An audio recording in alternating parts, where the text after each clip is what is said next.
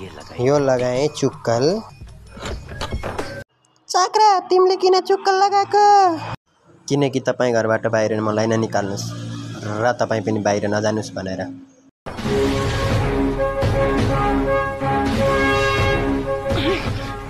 यो चक्रेलाई त तल लाउनै पर्यो।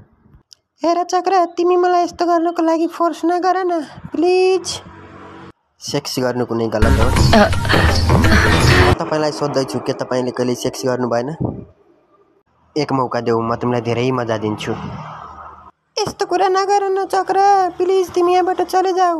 नाइ जबसम्म तिमी मलाई एकचोटि गर्न दिनौ तबसम्म म जाँदिनँ।